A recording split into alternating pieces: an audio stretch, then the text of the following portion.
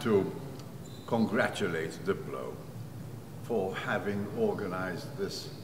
great summit on digital diplomacy and governance,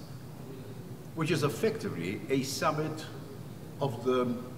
top ideas and concepts on digital diplomacy and governance at the moment. It is a summit also because we had the privilege and the honor of receiving the Swiss President Cassis over here, and from Malta, where Diplo was born, in the classroom of the Mediterranean Academy of Diplomatic Studies, where I used to be lecturing Jovan Kurbalija, a young student just in self-imposed exile from Yugoslavia in Malta. It's come a long way 33 years later that we are now being able to go over the contours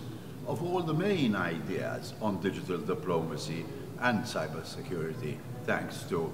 uh, the governance thereof, thanks to Jovan's resilience and initiative.